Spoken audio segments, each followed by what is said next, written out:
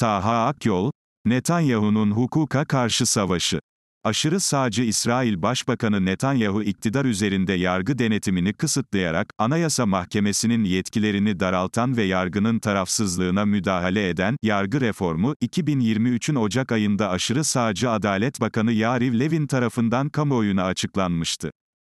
Büyük kitlelerin protesto gösterileri aylarca devam etmişti.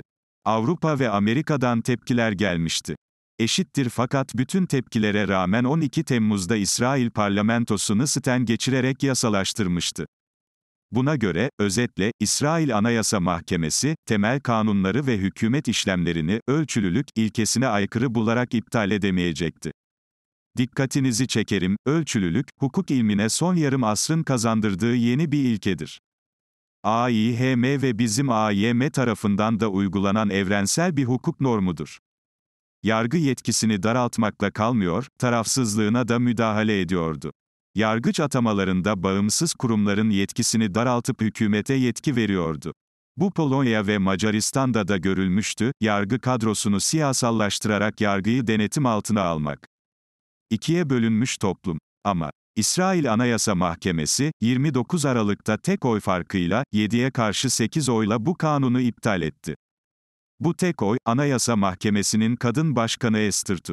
Liberal İsrail gazetesi Haaretz, İsrail'in kırılgan demokrasisini kurtaran kadın, başlığıyla bir tahlil yayınladı.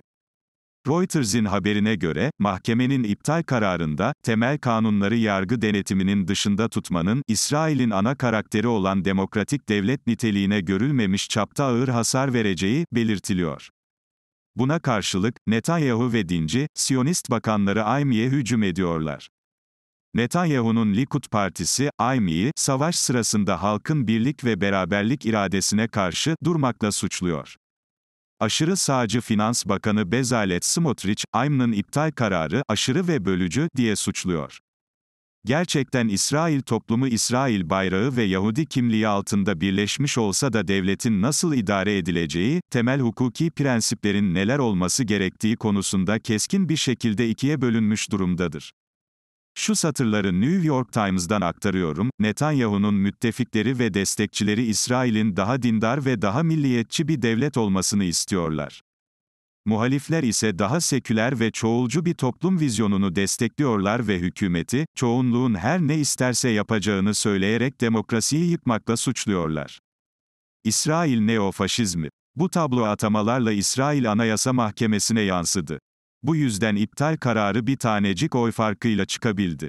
En vahim tarafı bu. Çünkü toplumlarda sert kutuplaşma olsa bile yargı, güvenilir hakem, vasfını kaybetmemeli. Bunu kaybetmesi en büyük felaket olur. Fakat, Gazze'deki barbarlığını Tevrat'taki, İşaya kehaneti, sanan Netanyahu için. Hitler'in Yahudilere söylediği gibi Gazzelilere, insansı hayvan, diyen savunma bakanı Yoav Gallant için, hukuk, insan hakları, kuvvetler ayrılığı, yargı bağımsızlığı gibi yüksek değerler ne ifade eder, karşımızda bir İsrail neofaşizmi vardır. Hitler 21. yüzyılda Tel Aviv'de iktidara gelseydi ne yapabilir idiyse, eksiksiz onu yapıyorlar. Hitler'in yükseldiği tarih kesiti gibi zamanımızda da demokratik ve insani değerler kriz halinde. Hele hukuk azgın ideolojiler karşısında güçsüz kalıyor. Güvenli yol. Ama hukuk, insani değerler, sağduyu mağlup olmayacaktır. Netanyahu hukuktan korktuğu için yargıyı bastırmaya çalışıyor. Milosevic gibi savaş suçları mahkemesinde yargılanmaktan korktuğu da muhakkak. 1930'larda, 1940'larda değiliz. Demokratik insani değerler ve hukuk yaralar alıyor ama mağlup değil ve insanlığın başka yolu da yok. Her bir millet için de kan ve gözyaşından uzak, emniyetli tek yol, yine hukuk ve demokrasidir. Kaldı ki Netanyahu ancak en azgın aşırılarla koalisyon yaparak iktidarda ve muhalefet gittikçe güçleniyor. Acılar büyük ama ışık hala yanıyor.